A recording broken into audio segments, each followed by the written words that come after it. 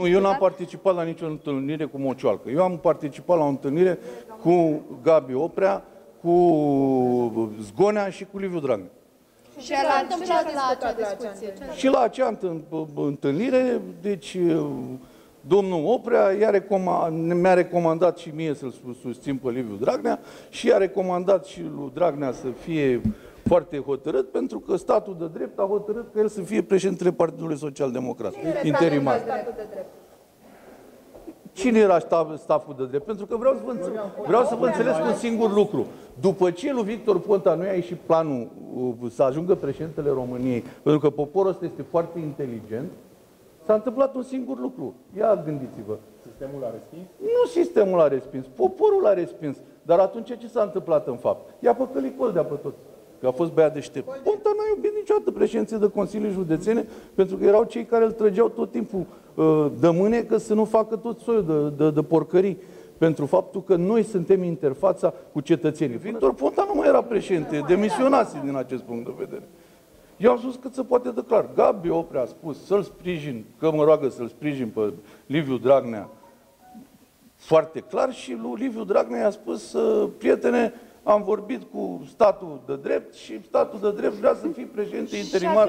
Uh, Sistemul s-a suscit în ultimul moment în ceea ce privește pe Dragnea, pentru că statul de drept l-a susținut pe Zgonea. de fapt. Dragnea avea susținerea membrilor PSD și a membrilor Comitetului Executiv. Dragnea a fost executat în momentul în care i s-a făcut dosarul La momentul politic respectiv știm că și a fost condamnat la 2 ani cu suspendare.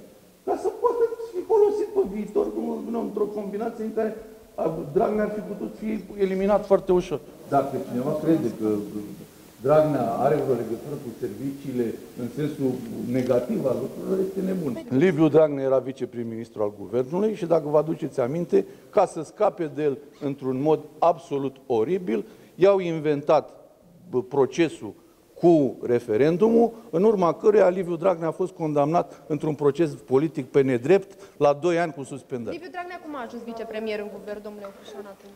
La presiunea noastră, a colegilor de partid, pentru că era unul dintre cei care cunoșteau foarte bine cum funcționează mecanismele administrației locale. Dumneavoastră credeți că Liviu Dragnea nu mergea la acele petreceri private organizate de serie, așa cum spune uh, Victor Ponta? Am mers când avea încotro, că altfel se ducea la pușcărie dacă nu făcea ce spuneau ei. PSD se tăcea pentru că le vărea câteva dosare. Da.